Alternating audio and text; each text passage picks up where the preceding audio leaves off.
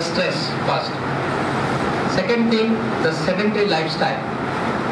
Now, when we were young, we were children, we, immediately after the school, we used to go to the playground. Now, what is happening? Whenever the children are having time, they are either in the mobile or iPad or television. Outdoor activities has come down drastically. That is adding up to stress, first of all. Second thing, the kind of food that we are eating has dra- dramatically changed over past decade. Now people are, the children are enjoying more of pizza, pasta and burger and the KFCs and other things. The natural diet, the vegetables, the, you know, the green uh, things from the diet has come down drastically. So first is stress, second is the diet pattern, third is the sedentary lifestyle is adding this problem of stroke and that is causing the younger population to suffer from this problem more and more.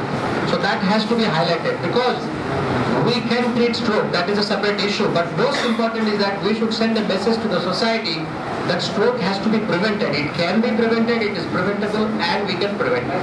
That is the first message we want to give. Second message we want to give that suppose a patient has stroke today, if the patient comes to us within 24 hours, the patient, most of the patient, we can reverse the stroke completely, like this two examples we wanted to show you. Previously, the time was only four and a half hour. You have a stroke, if you come to the hospital within four and a half hour, we can treat you. But that, because of improved technology, now if a patient comes to us within 24 hours of stroke, there is a possibility that most of the patient can be treated and can be reverted back to normal life within weeks. So please carry this message. The stroke is preventable. It can be prevented. It must be prevented. It is crippling the younger population because of the lifestyle, diet and stress.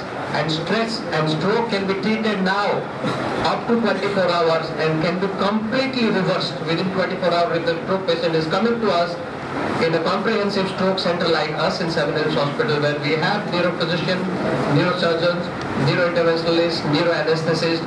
We have the capability to reverse the stroke within 24 hours.